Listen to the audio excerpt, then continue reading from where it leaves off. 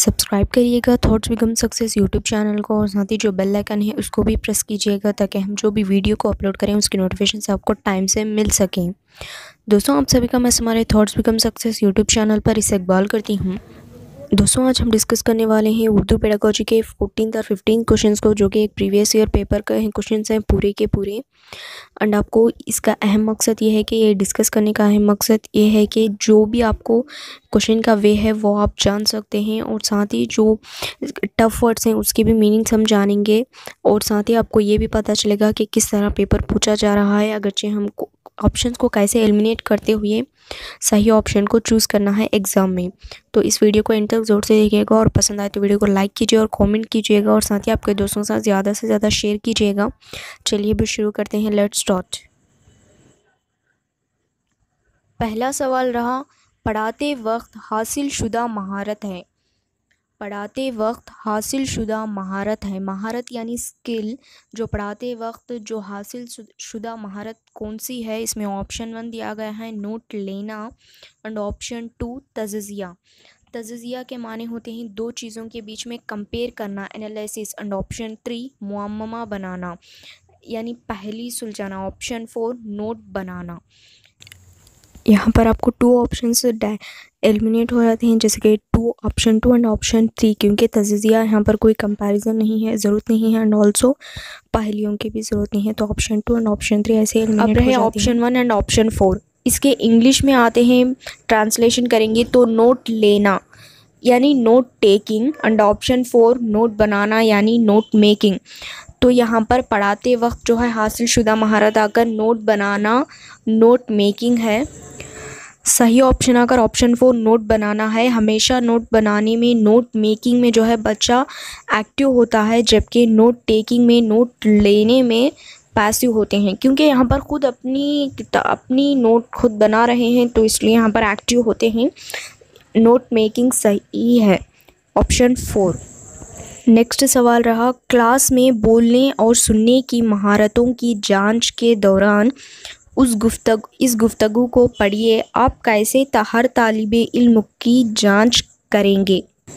इस क्वेश्चन के माने ये रहे कि क्लास में बोलने स्पीकिंग के और लिजनिंग के सुनने की जो स्किल्स हैं, उसकी जाँच कर, जाँच के लिए आप नीचे की जो गुफ्तगु है, उसको पढ़कर हर तालिब इल्म को किस तरह जाँच करेंगे? तालिब इल्म वन को किस तरह करेंगे और तालब इल्म दो को किस तरह करेंगे? तो नीचे की गुफ्तु रही, टीचर ये सवाल पूछ रहे हैं कि अपने पसंदीदा खेल से मुताल्लुक़ अपने दोस्त से बात कीजिए। मुताल्लुक़ यानी रिलेटेड के ताल्लुक़ रखने वाले के होते हैं। इसमें जो पहला तालब इल्म है, वो ये कुछ जवाब दे रहे हैं कि क्यों, क्या हम बहस नहीं कर सकते? और दूसरा तालब इल्म ऐसे जवाब दे रहे हैं, ठीक है, क्या मैं उससे कबड्डी से मुताल्लुक़ बात कर सकता हूँ? यहाँ पर दो स्टूडेंट्स दिए गए हैं जो कि डिफरेंट डिफरेंट आंसर्स दिए हैं दोनों के दोनों।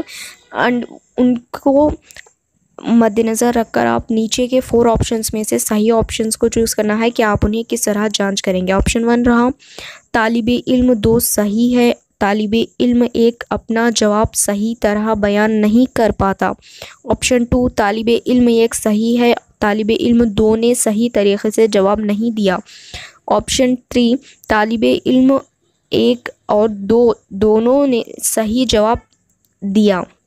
ऑप्शन फोर, तालिब इल्म एक और दो, दोनों ही ने गलत जवाब दिया।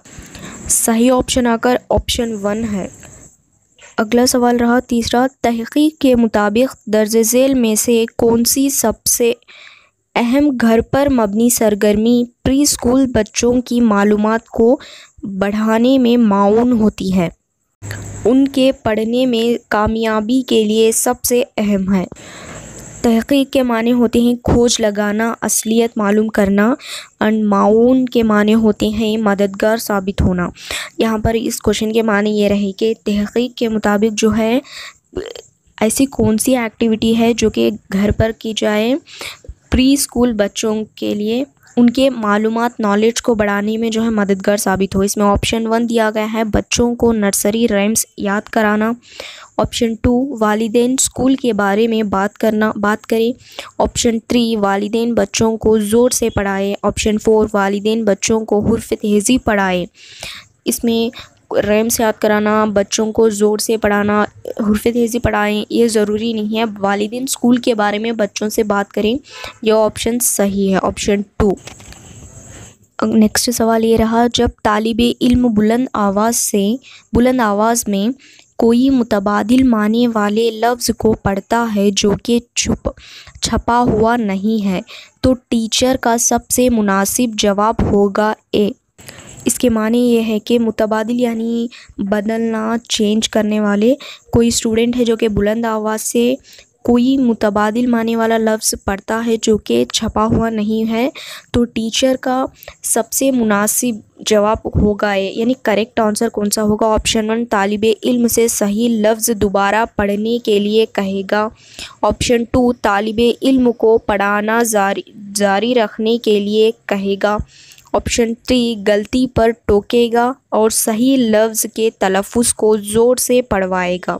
ऑप्शन फोर दोनों लफ्ज़ों को लिखाएगा और तालब इल्म से उस लफ्ज़ को तलाश करने के लिए कहेगा जो कि मतन में है। करेक्ट ऑप्शन रहा ऑप्शन टू अगला सवाल रहा, किसी की नकल ना करके अपने असलूब में लिखना कहलाता है। असलूब यानी अपने तरीक़े में अपने तरीक़े तर्ज में लिखना कहलाता है। ऑप्शन वन, अफसानवी। ऑप्शन टू, मुकालिमा। ऑप्शन थ्री, तख्लीक़ी। एंड ऑप्शन फोर ख़त।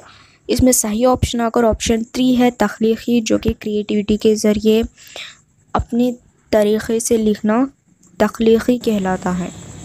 अगला सवाल रहा, कौन सा आमोजिशी इलाक़ा गौर व फ़िक्र के अमल को बढ़ाता है? ऑप्शन वन याद करना। ऑप्शन टू समझ। एंड ऑप्शन थ्री अंदाज कदर।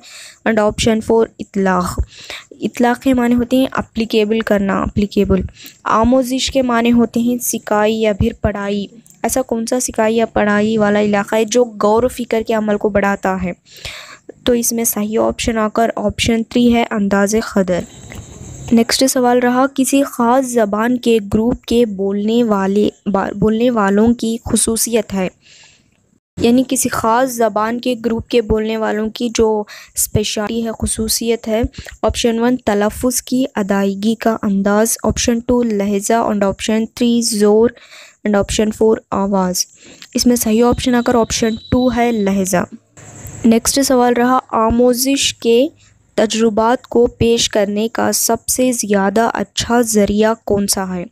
आमोजिश यानी सिखाने का तो इस तरह एक टीचर आमोजगार के माने होते हैं एक टीचर के। तो इस तरह एक आमोजिश के तजुर्बा, जो एक्सपेरिमेंट्स होते हैं, उसको प्रेजेंट करने का सबसे अच्छा ज़रिया कौन सा है? Option one television radio option two projected media and option three नमूने और chart option four field trips तो इसमें सही ऑप्शन आकर फ़ील्ड ट्रिप्स है, जिसके ज़रिए एक अच्छा प्रेजेंट कर जो भी एक्सपेरिमेंट तजुर्बात हैं, उसको पेश करने का एक अच्छा सा ज़रिया आकर फ़ील्ड ट्रिप्स है, जिसमें बच्चे ख़ुद भी सीखते हैं ज़्यादातर। इन तीनों के, जो कि नमूने और चार्ट्स के ज़रिए या फिर टेलीविज़न के, इनके इनके थ्रू जो है एक बेहतर से सीखते हैं फ़ील्ड ट्रिप्स में। नेक्स्ट सवाल रहा, एक एक शख्स सिनेमा हॉल में आपके पीछे बैठा हुआ मोबाइल फ़ोन पर बात कर रहा है। और आप उसे मोबाइल पर बात करने के लिए मना करना चाहते हैं।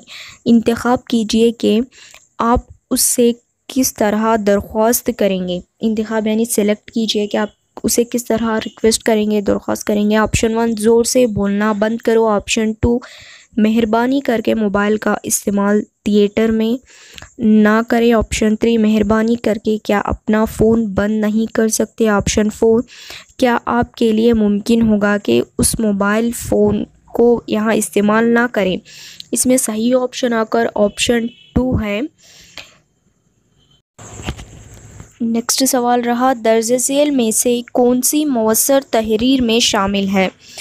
तहरीर यानी लिखना जबकि तकरीर होते हैं, उसके अपोज़िट के बोलने के मवसर यानी इफ़ेक्टिव तहरीर में राइटिंग में शामिल है। ऑप्शन वन जाप की जाँच एडिटर को ख़त। ऑप्शन टू सौख उम्री ऑब बीती ऑप्शन थ्री इंसाइक्लोपीडिया मजामी डायग्राम्स और diagrams and option four news reporter news report निसाबी में ऑप्शन वन जॉब की जाँच एडिटर को ख़त जो है मौसर तहरीर में शामिल है ऑप्शन वन सही रहा आंसर इसका।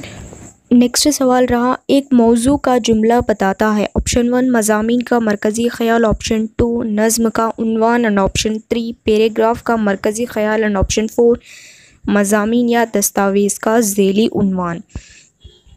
एक मौजू का जुमला बताता है, ऑप्शन थ्री इसमें सही सही ऑप्शन है जो कि पैराग्राफ का मरकज़ी ख्याल बताता है। ऑप्शन थ्री सही रहा।